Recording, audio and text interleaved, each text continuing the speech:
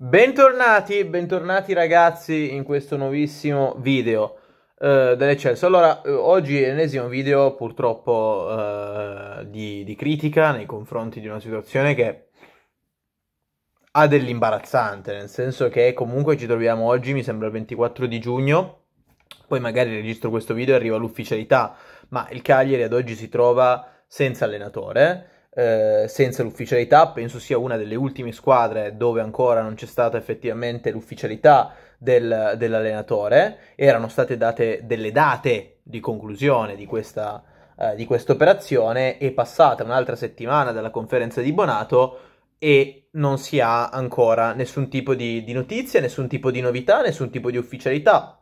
Mm, anche, insomma, questo a testimonianza del fatto che questa eh, squadra, questa società, sta, mi sembra di capire che stia veramente un po' in difficoltà a livello economico su certe cose, nel senso che io non ho ancora capito bene, si parla di problemi con l'Empoli, di, di un milione, di, di, di, cibo, non lo so di, quanti, di quanto si parli, ma ripeto, questo casino, questa roba che rallenta moltissimo la programmazione, perché per quanto tu puoi programmare con Nicola, ma è chiaro che se non hai la firma, è chiaro che se dalla presidenza, da chi deve mettere i soldi, non arriva una chiusura su Nicola, ma cosa vuoi programmare? Ma cosa vuoi programmare? Quindi è chiaro che ti trovi super in ritardo dal punto di vista della programmazione ed è chiaro, se non ricordo male, che gli altri anni si iniziava il ritiro a, a Cagliari per il richiamo fisico, per una ripresa degli allenamenti, per poi andare in Valle d'Aosta o dov'è, eh, si iniziava intorno al 6-7 luglio. Cioè, qua siamo in ritardissimo sul, sul, sul piano di,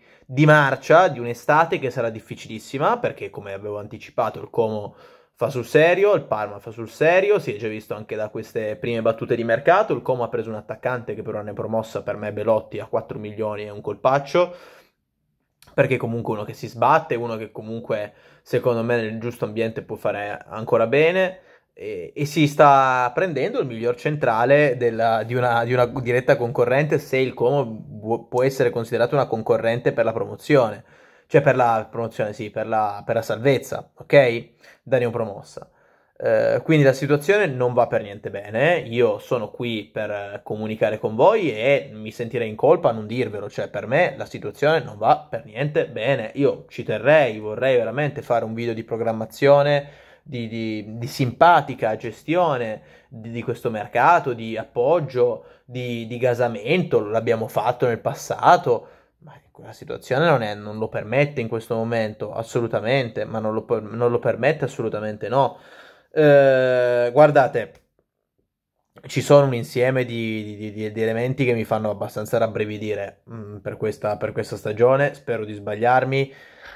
Valuteremo poi bene la rosa che avremo a disposizione a fine agosto, questo assolutamente sì, ma gli inizi non mi piacciono assolutamente, perché qua siamo ufficialmente nella nuova nella nuova stagione, ok? Quindi l'inizio non mi piace per niente, perché al, al 24 di giugno hai venduto il giocatore che più si era messo in mostra, hai, non hai l'allenatore, eh, l'allenatore e eh, non hai l'allenatore, perché dici sì, ce l'abbiamo, ce l'abbiamo, ma io non vedo nessuna ufficialità, quindi non si è ancora iniziato a programmare, hai perso il tuo giocatore più carismatico gratis e, e, non va, non va per, e non hai riscattato il tuo giocatore più promettente che era Oristagno per 4 milioni, cioè una roba folle, folle, folle di una società eh, che in questo momento mi sembra veramente in grande difficoltà economica e di idee, anche corrette perché ripeto a livello anche economico non riscattare Oristagno è stata una minchiata perché se l'Inter avesse esercitato il controriscatto un milione, un milione e mezzo quant'era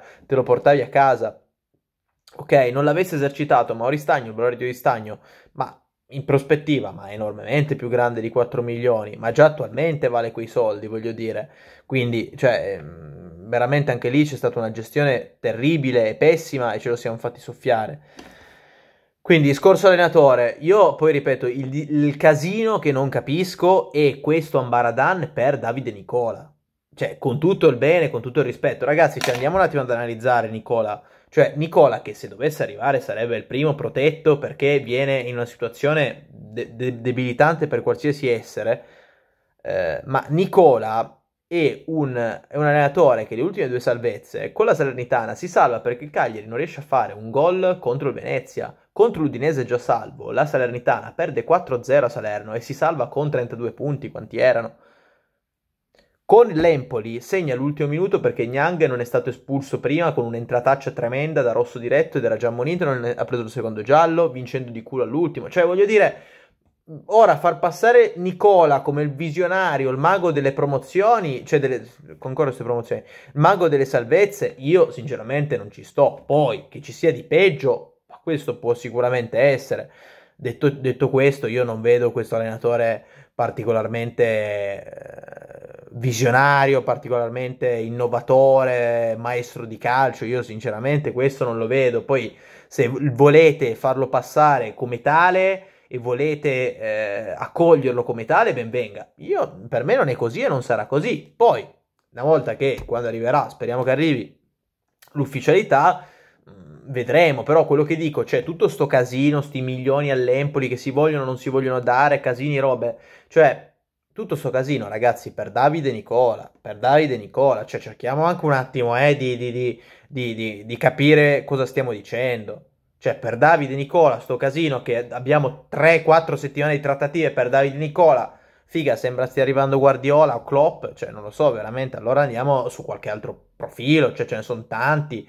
Uh, e ci stiamo facendo tra l'altro soffiare degli, dei profili di, alle, uh, di, allenatorage molto importanti che vengono da, da, anche categorie inferiori che si stanno lanciando, che non abbiamo colto, che non abbiamo colto, inerzie che servivano a questa squadra, perché Guardate, spero di sbagliarmi, ma Nicola, come poi faremo un video quando, quando e se dovesse firmare, ma Nicola non, non, mi sembra il profilo adatto, onestamente, per questa situazione. Non mi sembra il profilo adatto, ma spero di sbagliarmi, veramente. Arriviamo alla, alla cessione di, di, di Dossena. La cessione di Dossena, parto da un presupposto, io non sono contrario alle cessioni per grandi offerte. Però contestualizziamo quella che è la grande offerta. Cioè, ragazzi, eh, Dossena è vero, viene pescato per 200.000 euro, lo rivendi a 8 milioni più 2 di bonus, che sono da vedere come. Comunque c'è un 10% da dare all'Avellino, che vi ricordo, perché poi mi fate i calcoli con la calcolatrice, però poi vi dimenticate le cose in nostro sfavore. E allora c'è anche un 10% di, da, da dare all'Avellino su questa roba. Comunque, questo è il meno. Uh, quello che vi voglio dire è che un giocatore in rampa di lancio a 23-24 anni, quanti ne ha Dossena, che quest'anno ha fatto una stagione da esordiente titolare, quindi con veramente un, un futuro davanti più che roseo, più che roseo, che arriva in Serie A a fare l'inaspettato protagonista ed è uno dei due o tre giocatori valorizzati quest'anno dal, dal Cagliari, eh, ambientato in Serie A, eh, italiano nel gruppo e il messaggio che dà la società è prendiamo e lo vendiamo, ma ragioniamo sulla cifra, cioè se voi mi dite che Buongiorno, che un giocatore che non gioca le coppe, che arriva decimo, undicesimo, dodicesimo d'anni, vale 40-45 milioni come sembra che, che verranno, avverranno queste trattative ed Ossena ne vale 8 più 2 di bonus, cioè, allora c'è qualcosa che non quadra e capiamoci anche sulle grandi cifre ed è qua che viene il provincialismo ed è qua che viene la mediocrità di Cagliari, dei tifosi e della stampa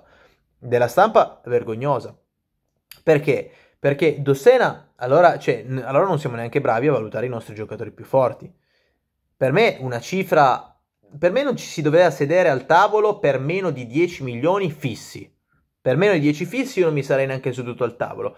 Per una vendita intorno ai 15 milioni poteva essere una vendita in... già più interessante. Poteva essere una vendita già più interessante. Però ragazzi, cioè, ci sono nella, in una programmazione calcistica degli aspetti che i, i, giornalisti da salotto non considerano, cioè il fatto che questa squadra vada in ritiro con come attaccanti la Padula e Pavoletti, che quindi il reparto d'attacco sia completamente da rifare, che se ne sia andato, Nan- andato via Nandez, che io non amavo, ma è comunque un giocatore centro del Cagliari, è stato un giocatore centro, e lì comunque devi capire come rimodellare questo centrocampo.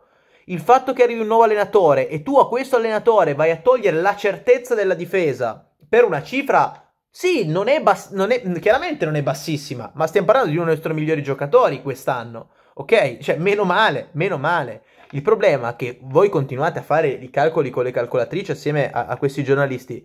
Eh, non si riesce sempre a prendere un Dossena a 200.000 euro e quel Dossena che arriva a 200.000 euro non avrà mai sei mesi di prova in Serie B per ambientarsi. Viene buttato in Serie A dove le alternative sono Azidiacos e Vietesca che ti sono costati in due quanto è costato Dossena e permettetemi che Dossena ne vale 100 sia di Azidiacos e 300 di Vietesca che sono stati comprati per 4,5 e per 3 milioni.